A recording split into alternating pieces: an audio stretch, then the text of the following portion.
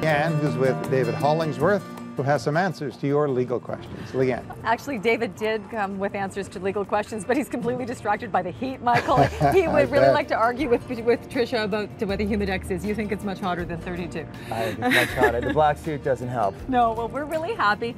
David is here with legal advice, answering your questions. Before we get to your questions, though, this is a situation we have all been in. We have either been the borrower of someone else's car or we have lent someone a car and you have seen a lot of cases that you think our viewers need to be made aware of about liability. Yep, that's right, Leanna. Anytime you lend your car to somebody, you're not just lending them your car, you're lending them your insurance, and you're potentially putting some of your own assets in jeopardy.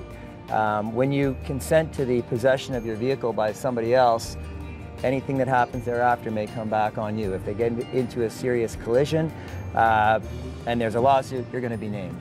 I have a case right now where a, a, a mother lent her daughter's friend the keys to her vehicle.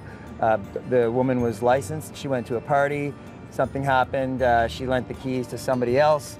Uh, that person was not licensed, may have been intoxicated, caused a serious collision, and it comes back on the mother of the vehicle who originally lent the keys to her daughter's friend. So there are some perils. There's another element worthy of, of note. If in fact you lend your vehicle to the same person often, right. that can also be an issue. Absolutely, yeah. If, the, if uh, I have a case like that where uh, somebody lent their vehicle to somebody and they, they started using it maybe more often than the insurance company would have liked, uh, and they deemed them to have regular use of the vehicle. So when they got into a serious accident, the insurance company said they should have been a named driver. They weren't, and they've argued now that the uh, policy of insurance is invalid. So when in doubt, have somebody who uses the vehicle regularly uh, added as a policyholder. And you should also, if in fact you are borrowing a vehicle, and this is awkward because you're grateful someone's lending you a truck to say move furniture, uh, but you really should also say insurance is all up to date. Ex Absolutely. Explain your best uh, plan of action there. Well, I, you might just say something like, listen, if something happens, I get pulled over, where do I find the insurance? Where do I find the ownership?